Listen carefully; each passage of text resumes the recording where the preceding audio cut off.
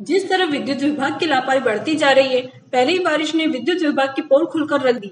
जी हाँ आपने देखा होगा, कहीं पर डिपिया खुली पड़ी है तो कहीं पर फॉल्ट होने का डर बना रहता है। जिस तरह अभी ठीक से बारिश भी चालू नहीं हुई, उसी दौरान हल्के से पानी से छह घंटे तक बिजली गुल हो गई। इससे साफ़ पता चलता है कि विद्युत विभाग की लापरवाही बढ़ रही है। कहीं पर डीपी फॉल्ट तो कहीं पर तार गिरे, जिससे रहवासियों की जान का खतरा बना रहता है।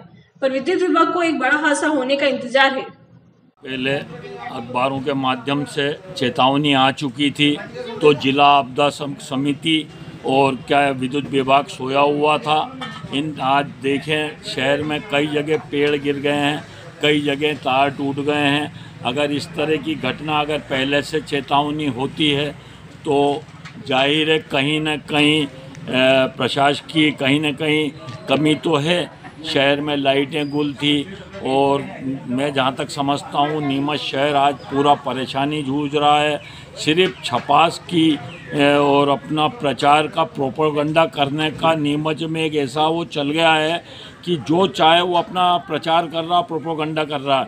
ज़मीनी हकीकत ये है कि ज़मीन पे कार्य कुछ नहीं हो रहे हैं, लोग दर दर की ठोकरें खा रहे हैं। लाइटें जाने से कई कई लोग परेशान हुए, कई लोगों के काम नहीं हो पाए।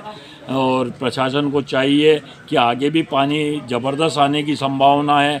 ऐसे को देखते हुए जो वायर की जो मेंटेनेंस है, वो करे। विभाग को अभी ये चीज़ सोचनी चाहिए कि जब इन थोड़ी सी बारिश के अंदर ये हालत हो गई है और उनकी बिजलियाँ गुल हो रही है, उनके तार टूट रहे हैं, पेड़ गिर रहे हैं तो उन्हें अभी से ही इस चीज़ की तैयारी कर लेनी चाहिए क्योंकि बहुत ज़्यादा समस्याएँ खड़ी हो सकती है। अगर जो ऐसे कहते विभाग इस विषय पर सोचता नहीं है। और आपदा प्रबंधन को अभी से ही उस चीज़ की तैयारी कर लेनी चाहिए और कमर कस लेनी चाहिए। सिर्फ़ और सिर्फ़ बातें करने से कुछ नहीं होने वाला। और विद्युत विभाग जो इतना हाईटेक बनने की जो बनने जा रहा था यह जो इनके द्वारा लाइनें डाली गई थी, ये डीपियाँ नई चेंज की गई थी और कहीं ना कहीं अब ये आया था कि भाई अब जो है लोगों को इससे राहत मिलेगी कि अब जो बिजली नहीं जाएगी, और जनता को कहीं ना कहीं राहत मिलेगी। लेकिन अब देखने में आया कि पहली ही बरसात में जो कल छः घंटे विद्युत विभाग द्वारा बिजली बंद कर दी गई, कई डीपियाँ जो गाड़ी कमाई के पैसे से, जनता के पैसे खरीदी जाती है, वो डीपियाँ कहीं जल चुकी हैं, और कई जो है तारें टूट करके लोगों की छतों पे गिर गई हैं। तो एक बड़े हादसे को जो न्योता दे रहे हैं ये चीज़ें। इसमें विद्युत विभाग की कहीं बड़ी लापरवाही एक सामने आई है। निश्चित रूप से इन सब के ऊपर एक कार्रवाई की जानी चाहिए। जिस तरह से हल्की बारिश है तो बारिश का सीज़न भी नहीं है।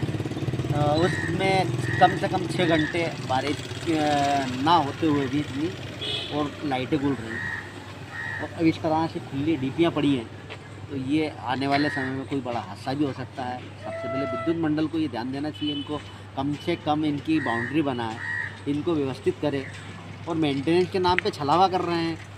मेंटेनेंस पूरी तरह करे विद्युत मंडल को ध्यान देना चाहिए। कहीं ना कहीं बिल्कुल नज़र आ रही है। ये तो सफ़ा सफ़ा नज़र आ रही है। कल इतनी चलता फिरता रोड है। और ये बिल्कुल सेंटर में बच्चे भी यहाँ निकलते हैं। इसमें कम से कम बाउंड्री तो बनानी चाहिए। कल कोई बड़ा हादसा हो सकता है इससे। नीमच से आसिफ अली की रिपोर्ट।